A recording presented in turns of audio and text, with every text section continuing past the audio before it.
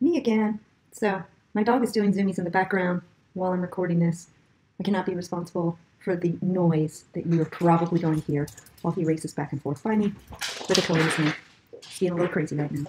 So, uh, so uh, we've added the adjustment layers. Uh, we added uh, a separate layer to the sky, uh, and then one above the background uh, that's being applied to all layers below that layer, which will actually be really important later on um, that that is being applied to all layers below it because um, as we make changes and adjustments and do some actual pixel editing to the background layer, uh, we're going to have multiple layers down there that we want adjusted all in the same way as the building, right? So, um, so that's going to come in handy later on. Before I show you some of these cool uh, editing techniques, uh, I am going to show you how to add text, uh, realistic looking text for the building sign for the Prototype Creativity Institute um, signage. So uh, we're going to make this their building. Um, and later on in Project 3, this is going to be the picture that you're going to use uh, for Prototype Creativity Institute in their newsletter to talk about their new location, to their, their new building. So, um, so I'm going to show you uh, how to add that sign first. Um, and, uh, and I'm going to be really careful, by the way, to make sure I have uh, the proper layer selected before I go um, adding this building sign, right? Um, so I'm actually going to uh, temporarily um, add this building sign um, to just the background layer uh, because I don't want this levels adjustment layer to get stuck to the building sign. Uh, and it will kind of stick to it because I uh, clicked on that button. And uh, so I'm going to add it uh, now, keeping in mind if I want to at any point, I can drag and drop uh, and, and um, move this sign to a different layer or to a different order in the layers. I might even want to move it all the way to the top so that it's not being adjusted at all. So, so the first thing I'm going to do is I'm going to click on the type tool uh, and I'm going to make sure I'm creating horizontal type. Yes, that's going to allow me to type from left to right. And wherever I click on this building, it's going to give me a little blinking cursor where I click this I-beam right now. And watch what happens as soon as I click to my layers panel. So I'm going to click and voila, it added a layer two, right? I can give it any name I want to, but it's actually going to automatically uh, give me a name as soon as I start typing, which is pretty cool. Notice it put the type layer directly above one step above the layer that I currently had selected. So I'm going to uh, begin typing now. Um, and uh, I, am going to uh, make sure that uh, I am spelling things correctly, T-Y-P-E. Uh, I think, right, uh, if you want it all caps, just leave your caps lock key on. If you want it upper and lowercase, right, type it in upper lowercase. Um, so make sure the case is what you want it to be. I kind of like it to be all uppercase. I don't know. for me and my brain, it just is much more convincing as building signage. Um, and keep in mind, you're not going to be designing a logo for these guys right now. We don't do that in Photoshop, by the way, because Photoshop is pixels. Uh, we design logos in Illustrator, which is vector software, which is uh, free of pixels or resolution entirely, which is a beautiful thing, let me tell you. Um, but uh, but we, we never design logos um, from within Photoshop because it's raster or pixel-oriented software. Uh, I want to point out to you that it kind of looks weird, these letters. Um, if you've already figured out why, yes, bravo for you. The reason why is because my layer is below my sky layer that has the layer mask. So my type being below it is also being masked. If I want to, uh, I can grab this type layer right now and drag it. Oops, drag. It doesn't want me to do that with my type tool selected, so I'm going to use my move tool. Uh, it wants me, right, to, to drag. I'm going to drag it all the way to the top. Go all the way up, right? Uh, so my type layer is not below any of my adjustment layers. You see why I did that? I do not want my type layer to be adjusted by any of my levels adjustment layers, so I'm making sure it's on the top here of the picking order and doesn't have any levels above it being applied to it. So now notice my type is also in front of all layers, right? It's on top of the sky, it's on top of the building. Uh, it is the one thing that looks to our human eyes as though it's in front of everything, uh, which is good. So uh, by default, uh, I get a bounding box on my type. If I grab one of those corner handles, corner handles, I can scale this type down to a more appropriate size.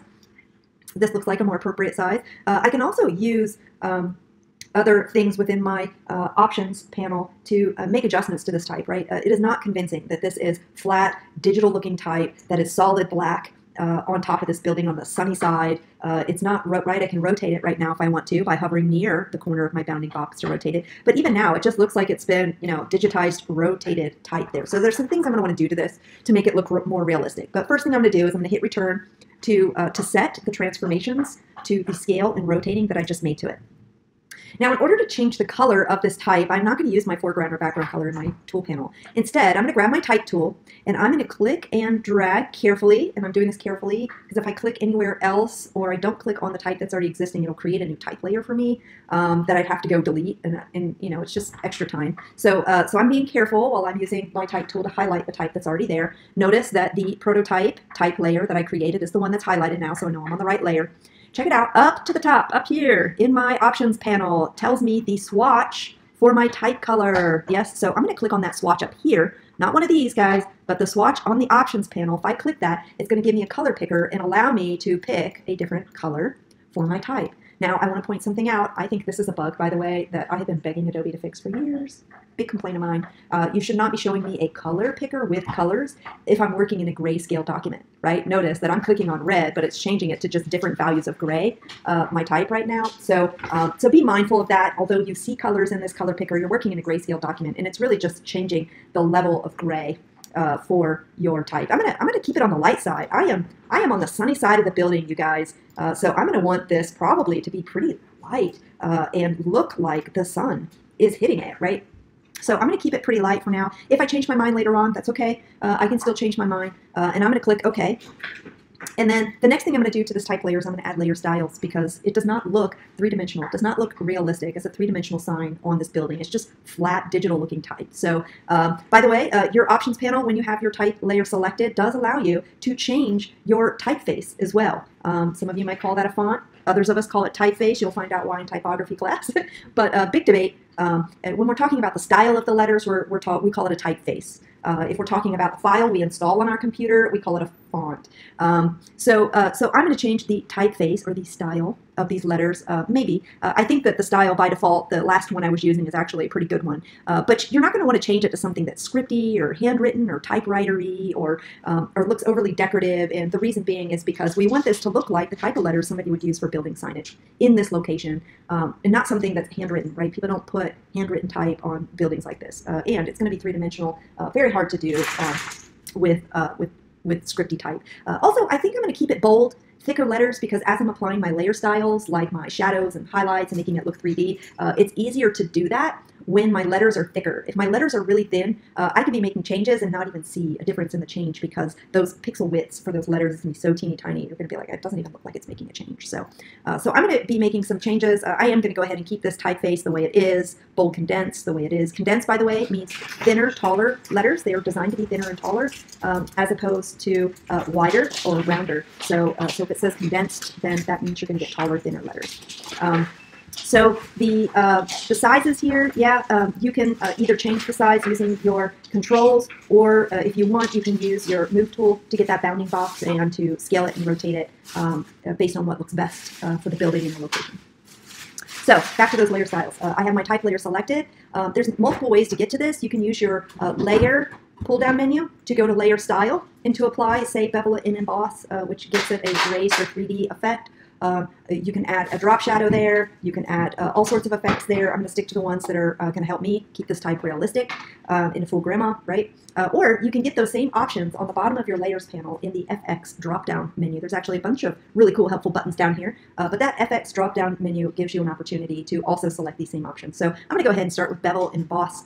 Uh, notice that it's going to bring up this layer style, and by default, right, whatever the last settings I was using, for Bevel and Emboss in Photoshop, uh, it's important to note that that's exactly what it's still going to be set at. So I'm going to reset to default. Uh, and the reason why I'm resetting to default is because I don't remember what those uh, last settings were or for what it was for, but there's no way those exact same things are going to be able to be applied to um, the scenario I'm looking at right now. So uh, right now you'll notice this does not look realistic, right? Default doesn't look realistic, but neither did the last settings, but it gives me a starting point. First things first, the style should not be inner bevel. You should consider something like emboss to make, oh, look at that already, to make those letters look three-dimensional, right? Uh, emboss means raised surface, right? Um, so I want these to be embossed. Now notice that the depth, maybe the depth, maybe it's too deep. Maybe I don't want it to look that deep. Maybe I just want it to look this deep.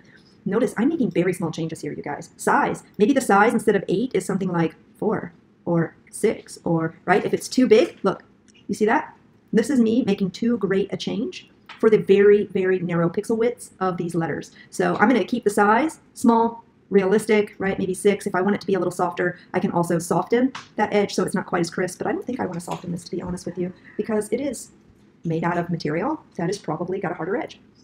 I can also use this here, this angle, the shading angle here, to change the direction of the light on the letters. I am going to want to make sure that the light, right, imagine this tiny little dot right there is the sun, that the light is coming from an angle that makes sense for where the sun is hitting other things in the image, right? So if I look at these shadows here, I'm feeling like the sun is in front of it, somewhere over here, shining down onto the building and casting a shadow in that direction. So I'm going to want this angle to be similar to the angle that I'm seeing these other shadows in the pre-existing image.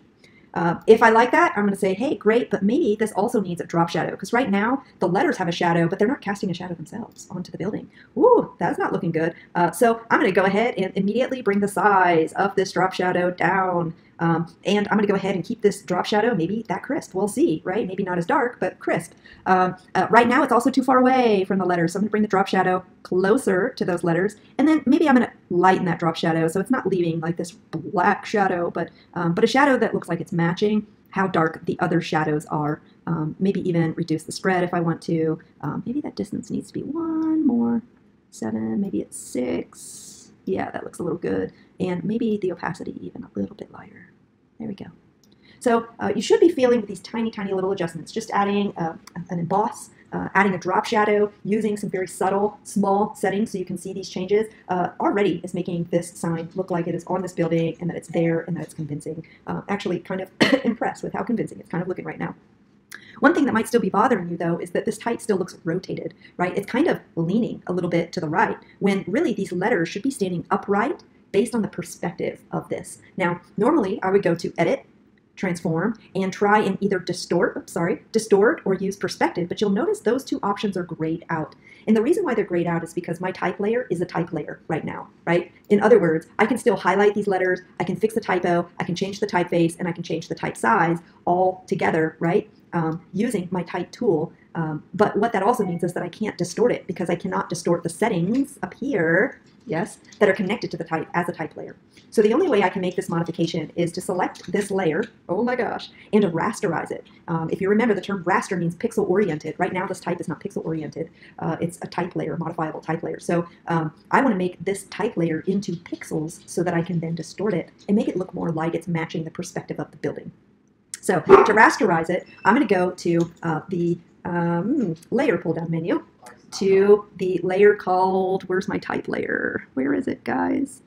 Um, no, no, no, Rasterize. No, it's not rasterize. Uh, it's layer, rasterize, and then type. Uh, this goes to show you how often I don't do this in Photoshop. So uh, layer, rasterize, type. Uh, this is going to turn my type into pixels. Now, you might notice there's a slight change, right? It's showing me in this preview of the layers, this kind of uh, grid, right? That grid is telling me it's transparent. There's nothing there. There's no pixels, no white pixels, no black pixels. Really, all that's there is this tiny little, I'm gonna, I'm gonna try and zoom in for you. See that little smudge right there? That little smudge? That's the word prototype in pixels. That's how tiny that thing is. Um, so uh, it's pixels now. It's not type. I can no longer grab my type tool and fix a typo. I cannot change the typeface. Uh, I, I can't do anything to that layer that I could do normally with a type layer because it's no longer type. It's just pixels. I'll prove it to you. I'll do what you should never do. I'm going to grab this eraser right now and I'm going to make it a, a, nice big brush so you can see here what I'm doing. Um, but I'm going to take this eraser brush and I'm going to erase, right? Oh my god, right? I'm going to undo, of course, undo, undo. Um, so uh, you'll see, right? It's pixels. You can't do that with type.